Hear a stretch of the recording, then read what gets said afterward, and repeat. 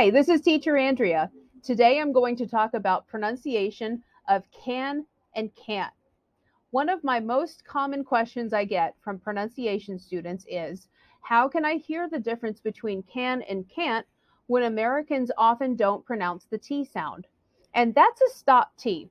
So when we make a stop T, we don't say a T sound, there is no T sound, and the word is a little bit short. This usually happens when we have a T at the end of a word, and it happens when the sound before the final T is a vowel. So, for example, the word cat. I don't say cat, I say cat. No T, word is short. Other examples get, sit, lot, put.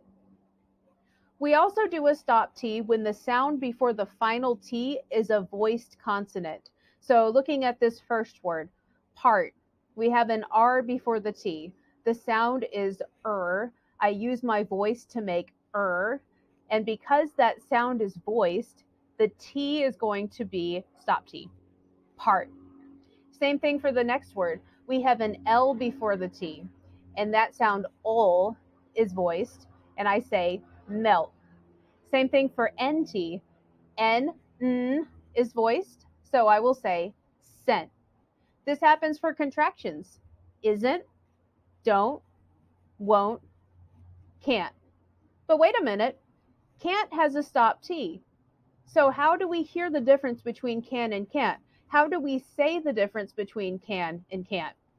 The answer is in the word stress. So in English, we make different words louder and longer in a sentence. Usually, the main verb of a sentence is stressed. So let's look at this sentence I can go. Go is the main verb. So I'm going to make that louder and longer. I will say, I can go. And can is not stressed. It's going to be a little short. I can. I can go. I can go.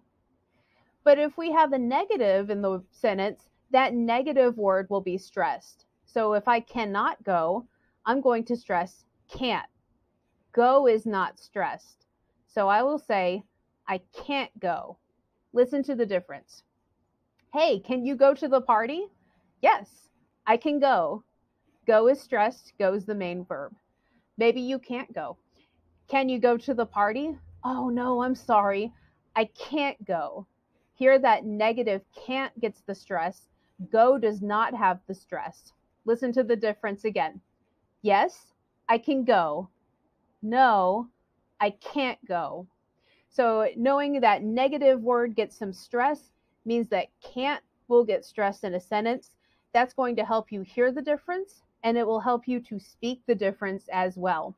If you'd like to book a lesson with me, you can visit my profile at verbling.com slash teachers slash Andrea. I hope you have a great day.